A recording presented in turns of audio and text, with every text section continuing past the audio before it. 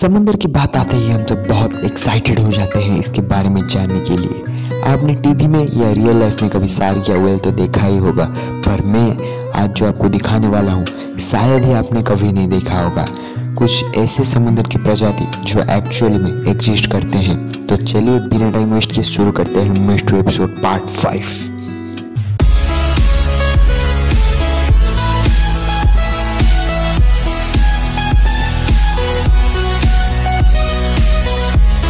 number one dogfish दोस्तों, आपने कभी ना कभी डॉग फ़िश का नाम तो सुना ही होगा, पर क्या आपने ये फ़िश को कभी देखा है? जापान की सुनामी में ये अजीब सी दिखने वाली फ़िश आ गई थी। ये फ़िश आधा कुत्ता, आधा मछली है, जिसमें बहुत सारे नुकीले दांत थे। ये मछली कभी भी नहीं देखी गई थी। दरअसल, सुनामी के कारण ज़्यादा इफ़ेक्ट फुकुशिमा पावर प्लांट पे ऊपर पड़ा था। पावर प्लांट में आग लग गई थी। जिसके लिए वहाँ के सारे लोगों को बाहर निकाला गया था, पर मछलियों को नहीं। केमिकल या डीएनए मिक्स होने के वजह से ये मछली प्रोड्यूस हुआ। Two Kappa. दोस्तों, कापा का नाम तो आपने बचपन में ज़रूर सुना होगा। डोरेमोन निंजा हथौड़ी या ऐसे ही जापानीज कार्टून में ज़्यादा कापा को दिखाया जाता है।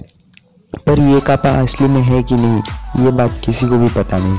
अगर आप यूट्यूब में कापा के वीडियो देखेंगे तो वो सारे फेक निकलेंगे। क्योंकि कापा सिर्फ़ कहानियों में एग्जिस्ट करता है रियल में नहीं। पर जापान का ये कहना है कि कापा होते हैं और वो किसी नदी में रहते हैं और अगर कोई इंसान उस नदी में जाता है तो वो उसको मारते और उसका लीवर जिसको हम कलीजा कहते हैं, उसको खाते हैं। इन कापा को ज़्यादा ककुम्बर से बहुत प्यार है। नंबर थ्री क्रैकेन आपने जायंट स्क्विड को तो कभी मूवी में देखा ही होगा, पर क्या आपने इसको असली में देखा है? जी हाँ गाइस ये असली में एग्जिस्ट करता है। क्रैकेन को पहले ट्वेल्व सेंचुरी में देखा गया था। ये 2.5 किलोमीटर लंबा है। समुंदर के बीच में जब कुछ डाकू जहाज़ लेके जा रहे थे, तभी अचानक समुंदर से क्रैकेन निकला और उनके जहाज़ को निगल लिया। पर खुशकिस्मती से छः लोग बच गए और उनका ये दावा था कि क्रैकेन असली में है। और फिर 2006 में 24 फीट का एक जायंट स्क्विड मिला था। Number four red lionfish दोस्तों रेड लायन फ़िश समुद्र में पाने वाले खूबसूरत क्रिएचर्स में से एक है। ये मछली सिर्फ़ 17.7 इंचेस या 45 सेंटीमीटर तक ग्रो कर सकती है। आपने लायन के मैन या उसके सिर के पास में बाल तो देखा होगा। वैसे ही इस मछली के पास भी है। ये मछली जितनी सुंदर दिखती है, उतनी ही खतरनाक है। रेड लाइन फ़िश का बाल एक्चुअली में बाल नहीं है। ये एक टाइप का स्ट्रिंग है। और इस स्ट्रिंग में टोटल 16 नुकीले कांटे होते हैं, जो बहुत भेनमस है। इसका एक कांटा ह्यूमन के बॉडी को काम करने से रोक सकता है।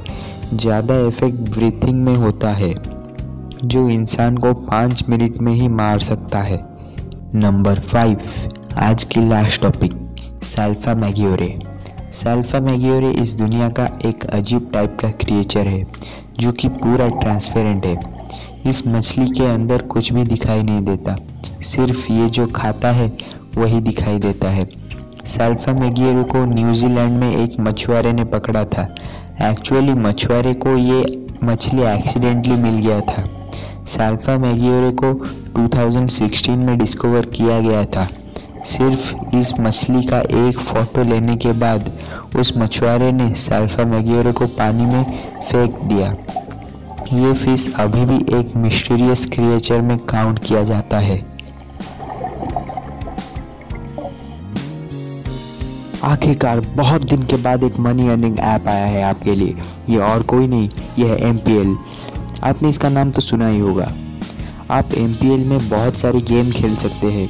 इसमें पबजी और फ्री फायर भी खेल सकते हैं और ऐसे ही मनी अर्न कर सकते हैं। स्टार्टिंग में आपको टेन रुपीज़ फ्री में मिल जाएगा। आपने जितना मनी अर्न किया है, उसको पेटीएम डेबिट कार्ड या UPI के थ्रू ट्रांसफ़र भी कर सकते हैं।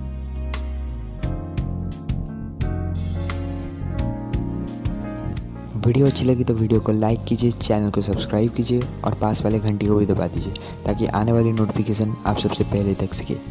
अगर हो सके तो शेयर भी कर लेना, पर सब्सक्राइब ज़रूर करना। मिलते हैं अगली वीडियो में।